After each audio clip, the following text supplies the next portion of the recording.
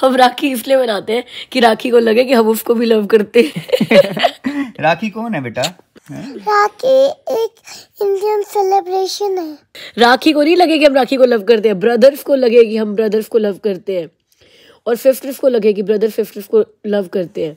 Rakhi is a festival of brother and fifth love okay okay do you love your brothers या how much do you love your brothers I just love them infinite. ओए my infinite और मम्मा को कितना करती है? 500 के जी Infinite. मम्मा को भी इनफाइनाइट पापा को?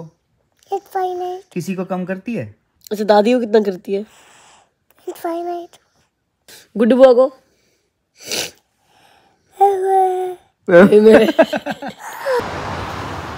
सो गाइस आ गया मैं अपने अक्षय खन्ना वाले लुक में कल यार मैं एक बात सोच रहा था। शिल्पा आजकल अपनी वीडियोज़ में बता रही है कि वो सैलून पे जाती है हेयर कट का कितना लगता है थ्रेडिंग का कितना लगता है। बट यार हमारा जो सब्सक्राइबर बेस है, उसमें 45 परसेंट सब्सक्राइबर्स तो मेल हैं। उनको क्या लेना देना है कि शिल्पा के सैलून में कितना हेयर कट का खर्चा आता है या फिर शिल्पा के थ्रेडिंग के कितने पैसे लगते हैं? जिनकी बीवी है, उनको तो चलो फिर भी थोड़ा बहुत फ़र्क पड़ता होगा। जो सिंगल हैं भाई, उनको तो ये पता करना है ना कि उनके हेयर कट का कितना पैसा लगेगा। तो मैं नॉर्मली जाता हूँ हमारे यहाँ घर के पास एक सैलून है John barber and hair I pay twenty five dollar for the hair cut दो अदर ऑप्शन भी हैं चीप ऑप्शन भी हैं लाइक ग्रेट क्लिप्स आपको यहाँ पर कनाडा में मोस्टली हर जगह मिल जाएगा। अब ग्रेट क्लिप्स में क्या है कि उनके ना ऑफ़र चलते रहते हैं। वैसे भी उनका जो हेयर कट है that is around twenty dollars but उनके हमेशा ही ऑफ़र चल रहे होते हैं। और अगर आपको एक बेसिक हेयर कट लेना है ना तो around thirteen dollars fifteen dollars में आपको ग्रेट क्लिप्स पे हेयर कट मिल जाएगा। दो, मेरे कोई ऐसे खास बाल नहीं है कि मैं स्पेशलाइज बार्बर के पास जान, जाने की ज़रूरत है मुझे। बट हाँ आई जस्ट लाइक हिम इसके पास जब भी आता हूँ ही takes his own time to cut my hair और थोड़ा उससे बातें करके मुझे अच्छा लगता है।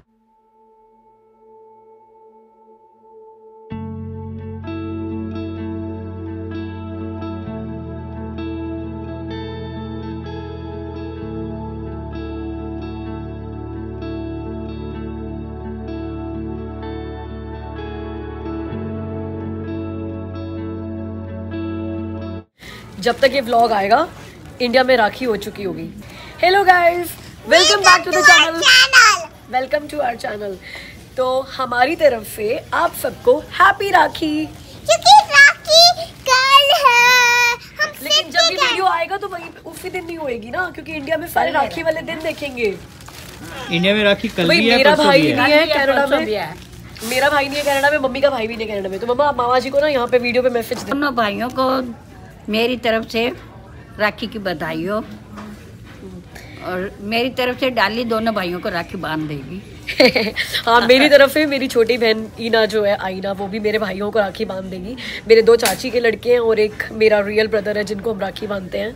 और मेरे चाची के लड़के की तो शादी के बाद पहली राखी है। हाँ मेरी छोटी बेबी फैज को भी बाँध देगी राखी। फैज की भी पहली राखी है। नहीं दूसरी राखी है उसकी तो जून में पैदा हुई थी वो। तो फहज को इना फहज को प्रतीक्षा को अंजलि को मिंकू को यूनिक को और कालू को सबको राखी बाँध देना। और जैसे सारी बहनों की अपने भाइयों के लिए यही दुआ होती है कि आपकी उम्र लंबी हो आप तरक्की करो प्रोग्रेस करो लाइफ में भगवान की दुआएँ आपके साथ हो। तो सिर्फ़ हम दोनों की तरफ़ से नहीं सारी बहनों के लिए सारे भाइयों को ये दुआ और हैप्पी राखी। भाइयों भतीजों भतीजों को भी हमारी तरफ़ से हैप्पी राखी। भगवान उनकी भी लंबी उम्र करे सुखी रहें। और उनका परिवार में बसता खेलता रहो फूलो पल्लो फूलो फलो। तरक्की करो। खैर छो तो हम भी जा रहे हैं कल गुडूदी के घर पे। प्रेरित और फाती के घर पे जा रहे हैं। हम लोग कल राखी मनाने तो हम वहीं पर सारे इकट्ठे हो रहे हैं राखी के लिए। तो जैसे कल वाला वीडियो भी आपने देखा था तो हम राखी के लिए गिफ्ट ले रहे हैं। तो सारे बच्चों के गिफ्ट लिए नहीं गए। तो आज अभी विनर्स पे आए हैं। फिर से जो बच्चे रह गए, उनके लिए गिफ्ट भी देखने के लिए। और ठीक है, फिर हम लोग विंडो शॉपिंग भी कर लेंगे, थोड़ी बहुत ऐसे भी शॉपिंग कर लेंगे, थोड़ी हुई मस्ती भी मार लेंगे। चलो, आपने आपने नव्या के लिए देखा था ना गिफ्ट का है? दिखाओ।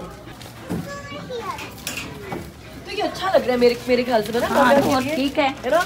और इसमें दो टॉयज भी हैं। She has one of these. How do you know? because I saw it. You saw that? पक्का? फिर क्या फ़ायदा? पक्का यही है उसके पास. फिर क्यों ले रहे हैं हम ये उसके पास एक बटरफ्लाई वाला है। पर्स चलो फिर और कुछ देख लेते हैं हम अगर उसके पास भी पर्स है तो। ठीक है हम पहले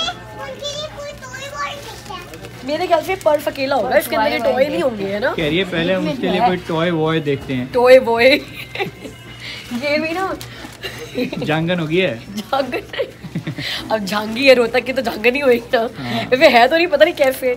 ना तो रोहतक में पैदा हुई है ना इतना रही है। बोलने लगी है रोटी वोटी।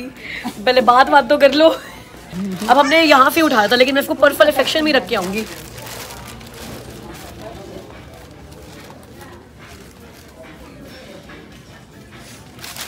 Good job Shilpa good job मेरे को सिंपल जी ने सिखाया है।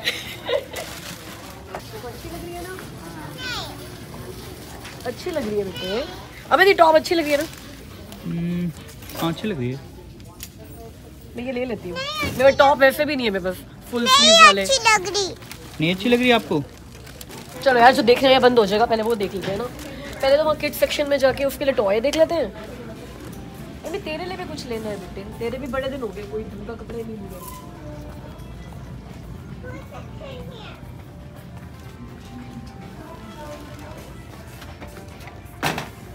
ये kitchen Emma how is this I guess we can buy this उसके पास किचन तो है ही।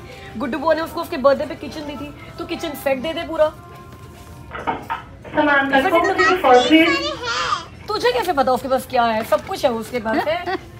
एमी फिर ये आइसक्रीम सेट दे दे ये आइसक्रीम सेट हम्म, ओ ये मेरे को भी ये ये इसको भी चाहिए ये ऊपर फ़ोन वाला जो पड़ा है क्या फ़ोन नहीं मम्मी वो सिलाई मशीन है अच्छा तो इसमें ये ब्लेंडर भी आ गया हाँ ये भी दे सकते है। ना ब्लेंडर आ गया डोनेट आ गया ऐसा सेम एमी के पास भी था।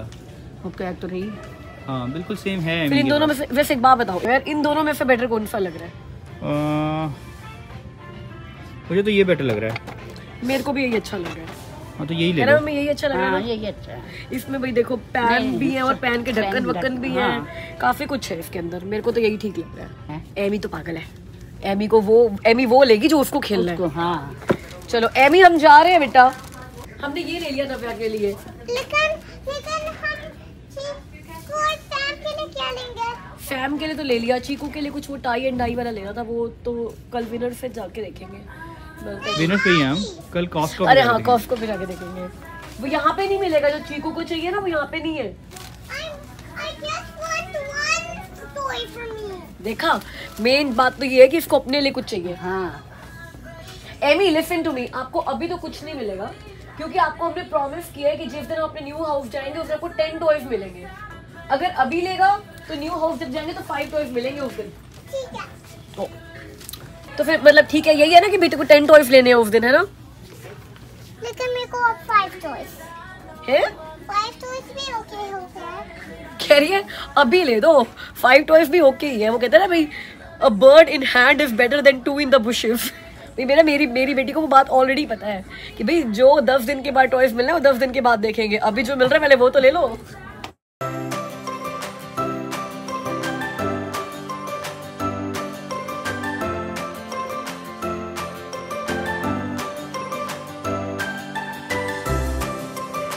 तो लोग गिफ्ट लेने के लिए आए थे गिफ्ट ले लिया हमने, एक गिफ्ट मिल गया। मतलब गिफ्टों में बच्चों के लिए गिफ्ट मिल रहे हैं। कल दो बच्चों के लिए मिले, आज एक बच्चे के लिए मिला, एक बच्चा हमारा अभी भी रह गया है तो उसके लिए कल देखेंगे। यार मतलब फेस्टिवल है एक्साइटमेंट है, राखी है तो शॉपिंग भी बनती है कि बिना शॉपिंग के ना फेस्टिवल्स भी अच्छे नहीं लगते। तो एटलीस्ट तीन चार दिन तो फेस्टिवल की शॉपिंग चलनी चाहिए। कल मिठाई की शॉपिंग होगी एक बार पहले राखी की शॉपिंग कर ही ली है। आप लोग क्या कर रहे हो राखी पे? कैसे मना रहे हो राखी? तो ये मुझे कमेंट्स में ज़रूर बताना। और विनर जब आप आते हो ना तो कई बार ऐसे होता है सुपर डील्स मिल ही जाती हैं। तो अभी निकलते निकलते ना, बिल्कुल गेट पे थी, मैं निकल रही थी, देखा, एक ड्रेस थी, जो कि ना थर्टी एट डॉलर्स की थी। फिर उसके ऊपर एक रेड स्टिकर लगा हुआ था ट्वेंटी एट डॉलर्स का। फिर उसके ऊपर एक रेड स्टिकर लगा हुआ था फिफ्टीन डॉलर्स का। फिर उसमें एक चौथा रेड स्टिकर लगा हुआ था टेन डॉलर्स का। मैं कहा भाई अब तो नहीं छोड़ना चाहिए। मतलब पाँच डॉलर के होने की वेट थोड़ी करेंगे। तो वो ड्रेस उठा लिया मैंने तो ये मेरी आज की डील थी। और एमी जी फैड है क्योंकि एमी को हमने कुछ नहीं लेकर दिया। क्योंकि एमी को हमने प्रॉमिस किया हुआ है कि जब हम न्यू हाउस में शिफ्ट होंगे I want five only five okay will buy you five Then give me a toy when for now.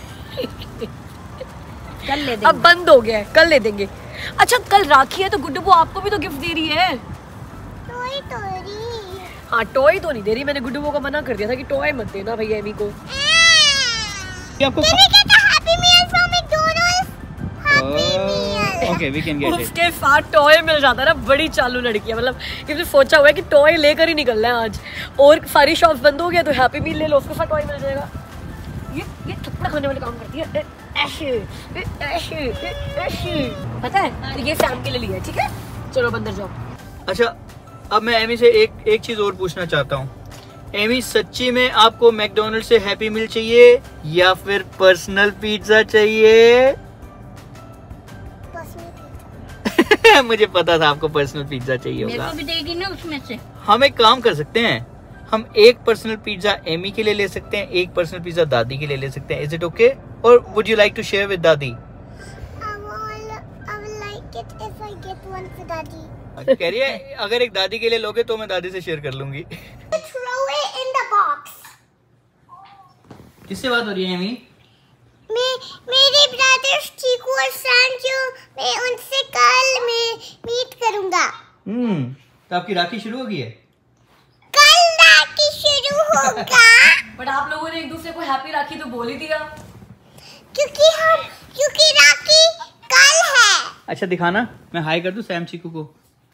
Happy Rakhi. Happy Rakhi Chiku. Happy Rakhi Chiku. See इसका rate क्या था? Amit sixty nine fifty seventy dollar की dress थी ये। और कितने की मिली है? दस डॉलर की।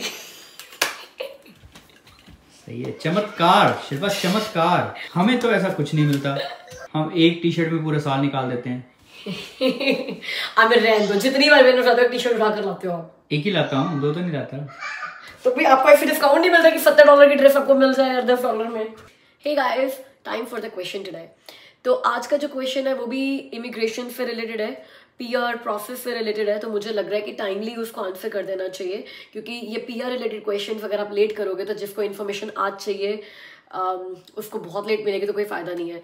तो क्वेश्चन ये है कि किसी ने मुझसे पूछा है कि पी आर एप्लीकेशन में जब एप्लीकेशन सबमिट हो जाती है उसके बाद डिपेंडेंट्स को कैसे ऐड करना है?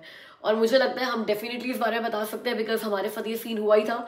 हमने जब पीआर अप्लाई की तो फैमिली में सिर्फ़ अमित और मैं थे और पीआर अप्लाई हो चुकी थी और उसके बाद एमी हुई है और हमें अपनी एप्लीकेशन में एमी को बाद में ऐड करना पड़ा। तो प्रोसेस ये रहता है कि जैसे ही आपकी फैमिली कॉम्पोजिशन चेंज होती है या आपकी फैमिली में एक न्यू बेबी आता है मोस्टली यही केस होता है, या फिर डाइवोर्स हो जाता है, या फिर आपकी शादी हो जाती है मतलब आपकी फैमिली कॉम्पोजिशन चेंज हो जाए तो एज पर द इंस्ट्रक्शन आपको इमीडिएटली अपने वीज़ा ऑफ़िस को इन्फॉर्म करना चाहिए। और जो आपका ओटवा ऑफ़िस है, जो कि मेनली इमिग्रेशन का मेन ऑफ़िस है, वहाँ पर भी इन्फॉर्म करना चाहिए। मुझे पता था कि मेरा जो वीज़ा ऑफ़िस है, वो न्यू दिल्ली वीज़ा ऑफ़िस किया बिकॉज़ हमने एक दो बार G C M S notes already order कर दिए थे। तो मैंने न्यू दिल्ली वीज़ा ऑफ़िस को और सी बी सी ऑटवा में दोनों जगह पे ईमेल करके उनको बता दिया था। एमी के पैदा होते ही जब हमारा, जब उसका पासपोर्ट आ चुका था बिकॉज़ मैंने उनका पासपोर्ट भी एमी का अटैच करके साथ में दिया था बर्थ सर्टिफिकेट भी साथ में अटैच करके दिया था। लेकिन जुलाई तक हमें उनसे कोई रिप्लाई नहीं आया था। जनवरी में मेल की थी, जुलाई तक कोई रिप्लाई नहीं आया था। Twenty seven July two thousand seventeen को सीधा हमारे को पीपीआर रिक्वेस्ट आ गई थी। और वो पीपीआर रिक्वेस्ट सिर्फ़ मेरे लिए और अमित के लिए आई थी। एमी का कोई मेंशन भी नहीं था। फिर मैंने दोबारा ईमेल किए सीपीसी ऑर्डवा में भी और न्यू दिल्ली वीज़ा ऑफ़िस में भी कि आपने हमें पीपीआर रिक्वेस्ट तो भेज दी है but I have informed in January that I have the addition in the family तो मैंने फॉर्म्स लगाए थे। एक तो जेनरिक फॉर्म लगाया था। जेनरिक फॉर्म होता है जो आप पीआर के लिए एक नॉर्मल फॉर्म भरते हो, जिसमें पूरी आपकी डिटेल होती है और आपके डिपेंडेंट्स की डिटेल होती है। सब कुछ होता है। आपका father name mother name height colour passport number everything जो जेनरिक फॉर्म होता है। तो मैंने एकदम वो जेनरिक फॉर्म दोबारा भरा था जिसमें मैंने अपनी इन्फॉर्मेशन और अमित की इन्फॉर्मेशन के साथ साथ because I was the prime applicant Amit was the dependent तो मैंने डिपेंडेंट वाले सेक्शन में फिर दो डिपेंडेंट फैड किए थे, अमित का नाम और एमी का नाम। साथ में एक एडिशनल फैमिली इन्फॉर्मेशन फॉर्म होता है। तो वो जितने भी लोगों की पी आर आप अप्लाई कर रहे होते हो ना, सबका एडिशनल फैमिली इन्फॉर्मेशन फॉर्म अलग से जाता है। तो वो फॉर्म भी अमित और मैंने दोबारा फिल करके भेजे थे। अब मेरी एडिशनल फैमिली इन्फॉर्मेशन में मैंने अपने बारे में और अपने पेरेंट्स के बारे में और अमित के बारे में और एमी के बारे में लिखा था। और अमित ने भी अपने एडिशनल फैमिली इन्फॉर्मेशन में, अपने बारे में, मेरे बारे में, अपने पेरेंट्स के बारे में और एमी के बारे में लिखा था। तो हम दोनों ने अपनी एडिशनल फैमिली इन्फॉर्मेशन में एमी का नाम ऐड किया था। और इन दोनों फॉर्म्स पे, जो जेनरिक फॉर्म हमने भेजा था और जो एडिशनल फैमिली इन्फॉर्मेशन फॉर्म भेजा था हमने, दोनों पे हमने एड ऑन एड ऑन ऊपर लिखा था। इसके साथ साथ हमने एमी का पासपोर्ट भेजा था और एमी का बर्थ सर्टिफिकेट भेजा था। और हमने उनको रिक्वेस्ट की थी कि हमारे को अब आप इंस्ट्रक्शन भेजो एमी का मेडिकल करा के आने के लिए और एमी की जो पीपीआर की फ़ीस है वो पे करने के लिए। तो फिर जब ये वाला ईमेल हमने भेजा पीपीआई रिक्वेस्ट की ईमेल के बाद, उसमें आप अपना यूसीआई नंबर लिखोगे क्लाइंट आईडी नंबर तो लिखोगे ही डेफिनेटली जब आप उनके साथ वीज़ा ऑफ़िस के साथ जब आप कॉरेस्पॉन्ड कर रहे हो तो। तो उसके भी दो या तीन महीने के बाद हमें फिर ईमेल आया कि अब आप इंस्ट्रक्शंस आए कि एमी का मेडिकल करा के आओ। तो हमने एमी का मेडिकल कराया और एमी की फ़ी पीपीआर फ़ीस भरने का इंस्ट्रक्शन आया था, जो आरपीआरएफ फ़ी भरते हो तो हमने वो फ़ी भरी। उसके बाद क्या हुआ? फिर वो सो गए। कुछ रिप्लाई नहीं आया। फिर उसके बाद फिर से रिप्लाई आया कि अमित और मेरा मेडिकल एक्सपायर हो गया और जब हमने अमित और मैंने अपना अपना मेडिकल दोबारा करा के उनको सबमिट किया, अमित और मुझे मेडिकल दो बार कराना पड़ गया था। क्योंकि अगर हमारा जुलाई में जो पीपीआर रिक्वेस्ट आया था ना, अगर वही हम लोग ले लेते और एमी का एडिशन नहीं होता तो हमें मेडिकल दोबारा नहीं कराना था। बट बाय द टाइम हमने एमी को ऐड किया एमी के लिए सारा प्रोसेस पूरा किया, इतने सब में अमित और मेरा मेडिकल एक्सपायर हो गया। तो जब हमने दोबारा मेडिकल कराया और वो सबमिट हुआ जैसे ही तो उसके विद इन फ्यू डेज़ हमारे को पीपीआर रिक्वेस्ट आ गई और इस बार जो पीपीआर रिक्वेस्ट थी, वो हम तीनों के लिए थी। तो एडिशनल डिपेंडेंट्स ऐड करने का यही प्रोसेस है कि हम अपने वीज़ा ऑफ़िस को इन्फॉर्म करोगे, जो मेन ऑफ़िस ऑर्डर में आप उनको इन्फॉर्म करोगे और साथ में जेनरिक एप्लीकेशन फॉर्म और एडिशनल फैमिली इन्फॉर्मेशन लगा के भेजोगे और जो फैमिली डिपेंडेंट आप एक्स्ट्रा ऐड कर रहे हो चाहे वो आपका स्पाउस है या वो आपका बच्चा है जो भी है तो आप उनका भी पासपोर्ट कॉपीज बर्थ सर्टिफिकेट जो भी डॉक्यूमेंट्स आपने अपने लिए लगाए थे at the time of PR आप वो डॉक्यूमेंट्स उनके लगा के भेजोगे। तो I hope this is useful for some people who are waiting to add dependents in the file और अगर कुछ क्वेश्चन नहीं भी है तब भी यार प्लीज़ कॉमेंट्स कीजिए वीडियो को लाइक कीजिए मुझे अच्छा लगता है जब आप कॉमेंट्स करते हो तो। Um, तो अब मैं आपसे मिलती हूँ कल की वीडियो में कल राखी है तो राखी की वीडियो आएगी। Uh, और uh, आप मुझे अपने कॉमेंट्स में राखी के प्लान्स ज़रूर बताइएगा. I would be so excited to know what you all did और, अब आपसे मिलते हैं कल की वीडियो में. तब तक के लिए अपना ख्याल रखिए. बाय